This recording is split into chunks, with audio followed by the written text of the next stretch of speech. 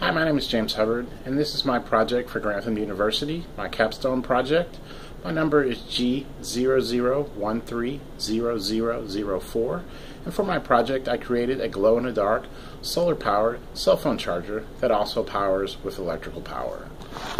This is my project. It has 6-volt solar panels on both sides. Uh, it has a two ports right here to charge two devices. It'll charge either Apple or iPhone or both. Uh, it'll charge those devices at the same time, or you can charge one device at once if you want. It has a cord right here. This is how you charge using the electrical outlet. You unzip this pouch,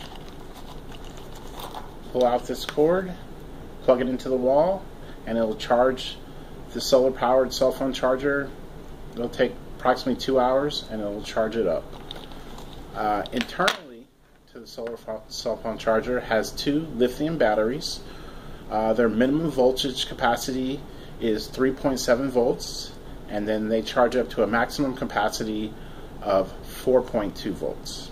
And when you want to charge your phones, what you do is you flip this switch on this side and that'll send power to these. As you can see, the red lights are on and it'll charge both of your devices at once. Do is we'll hook up two cords and show you that this will charge two devices.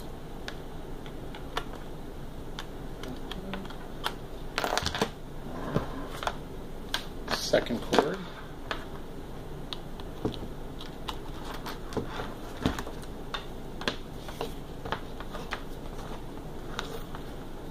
This is a Samsung Android phone that we'll be using for testing.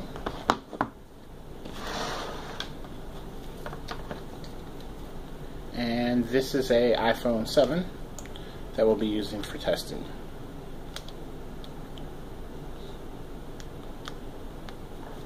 What we'll do is turn off. Then I will take I will flip this switch.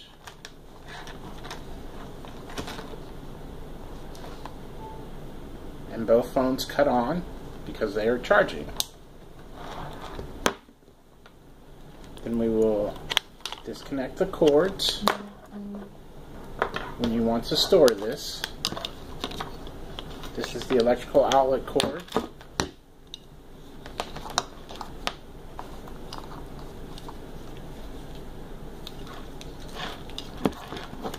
Going to put it back in its pouch.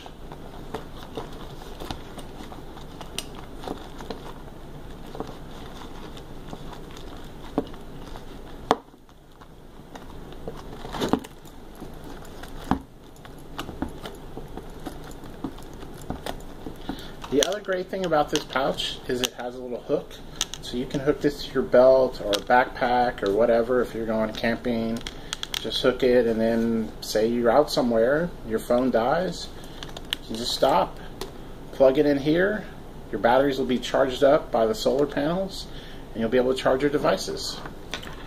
Um, some of my challenges during this project was finding a case. Originally, I wanted to go with a case like this, but I could not find one.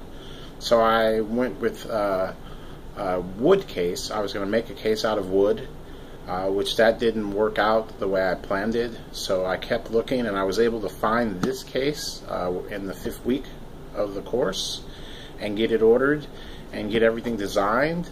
Um, some of the challenges with this case was obviously making all my cutouts.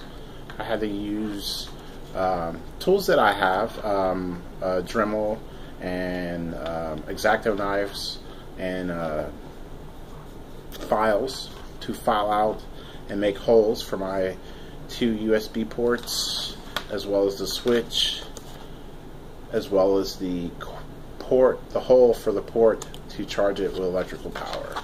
Uh, internal to this case, um, as you can see, you see the 6 volt solar panels. Uh, it has two lithium batteries. It has a USB power board as well as a USB charging board. Um, another challenge was the glow in the dark feature.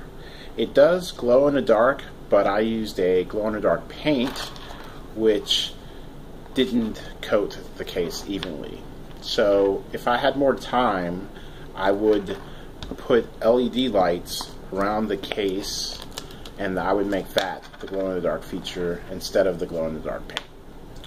Thank you for your time.